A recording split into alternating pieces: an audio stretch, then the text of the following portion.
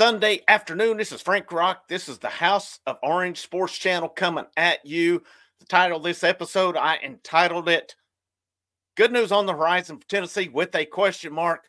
Who am I talking about? You probably guessed it before you even come on here. I'm talking about David Sanders Jr.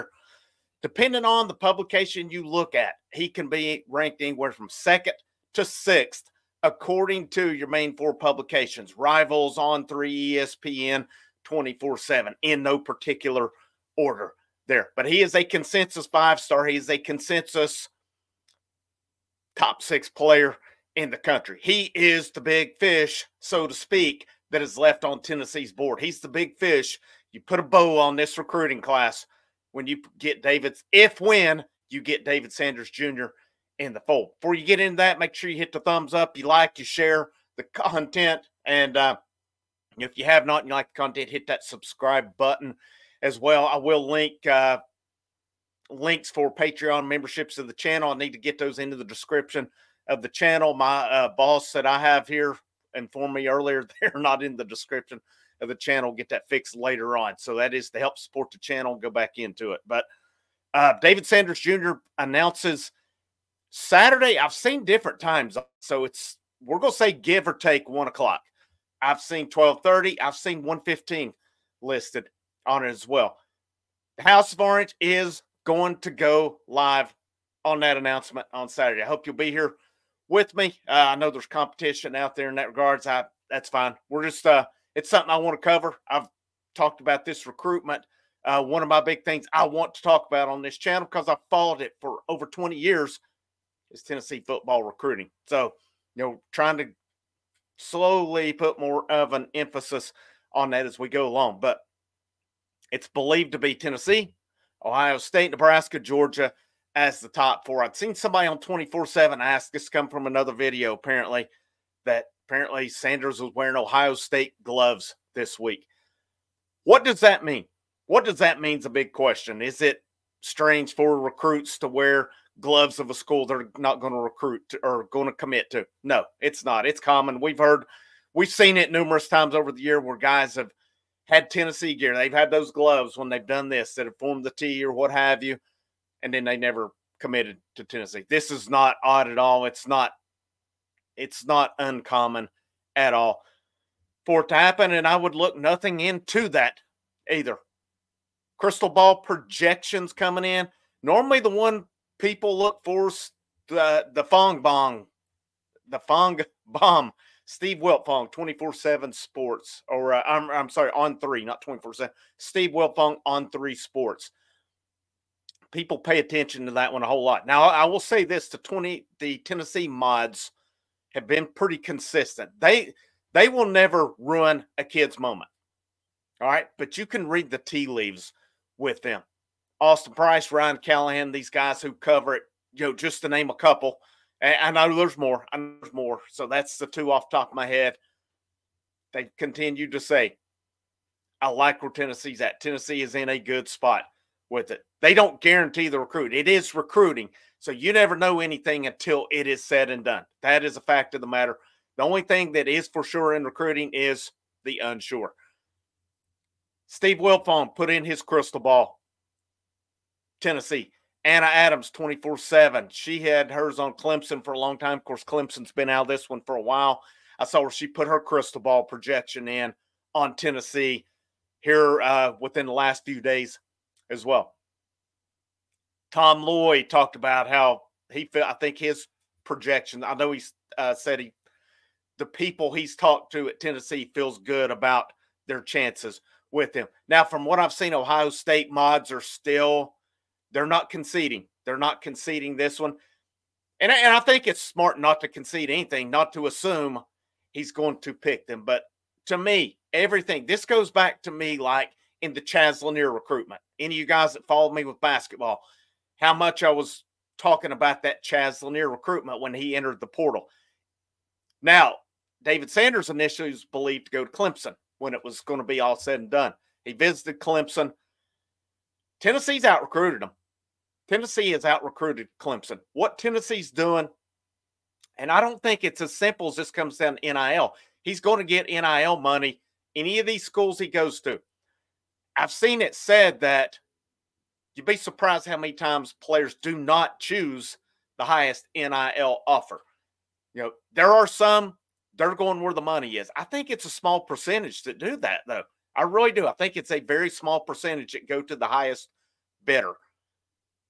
I think players look at your a guy like David Sanders has taken so many visits to be sure. Where has he always visited anytime he goes out on visits? Tennessee. He's been to Tennessee more than anywhere.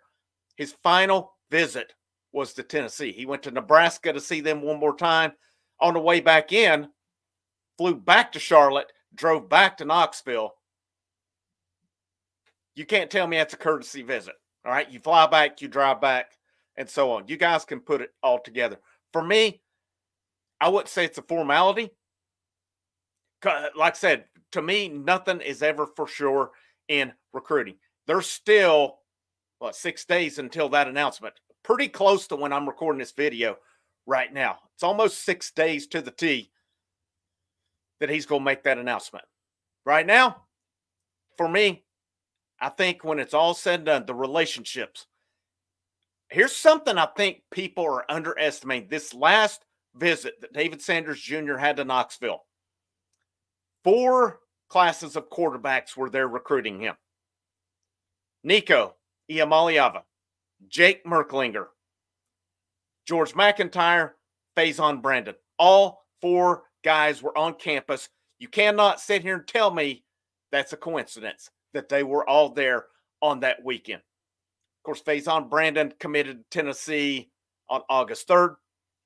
George MacIntyre's been in the boat for a while. Jake Merklinger's on campus now. Let me tell you, Jake Merklinger is not going to lay down when Nico leaves Tennessee. And of course, Nico's there. From what I've read, Nico is one of the best recruiters on that team making guys, some of these offensive linemen who've gotten in the boat have talked about how Nico was checking on them, making them feel wanted. He wanted them on his side with it. I think people are underestimating the fact that there were four classes of elite quarterbacks recruiting David Sanders Jr., wanting him to protect them on that offensive line. I, I think it's an understated point in all of this when it's all said and done, when that announcement's made on Saturday, I'm feeling very confident it'll be David Sanders Jr. picks Tennessee. But like I said, with recruiting, you never know until it's over. There's still more time. You can bet these other teams are not going to give up on him. But for me, I just think based on the number of times he's visited, he's a guy who doesn't talk much to these websites and stuff. Uh, you know, they interview his mom a bit. She talks a little bit about what they're doing, but it's a family. I think it's a well, I think it's a well-grounded family. I think they've done their due diligence, and I, I think they've been really thorough in this process and seeing all the pros, all the cons of each of these schools and weighing it out. And uh, you know, when you make that case, you make that point to get to Tennessee each time. You know, we'll see. We'll see where it winds up in the end.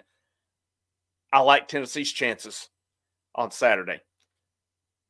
I hope you'll continue to like the content on the channel. If you guys got suggestions, um, you know, it, it's kind of the it's an everything school. This is going to be an everything channel: football, baseball, basketball, lady vols, basketball, lady vols, softball. Uh, you know, any other events of importance, I think would be important to ring in here as well. I am going to uh, work softball into the equation as we get toward that springtime. But uh, I hope you'll continue to stay with me here as uh, and I, I, really feel like we're just starting to scratch the surface on uh, where this thing can go. And um, you know, keep you updated on on any stuff going from here. Uh, we'll be live tomorrow night, Monday night, August 12th, 7 o'clock p.m. Eastern Standard Time. I hope you'll join me on here. I do think I have another guest. Uh, it's not one of the athletes on campus, just uh, a guy I know, actually a former student of mine, who uh, double checking with him. Hopefully, he's still gonna be able to come on. We'll have some fun on here tomorrow night. I, he's a pretty knowledgeable guy when it comes to this stuff, so hopefully he'll everything will work out and he's still able to come on with me. If not, we'll uh, you know the show will go on, but uh, hopefully he'll be able to join me on here as well. But uh, I hope you have a great rest of your Sunday. This is Frank Rock. This is the House of Orange Sports Channel, your everything sports channel for Tennessee athletics. Have a great rest of your Sunday. And last but most certainly not least, go Vols.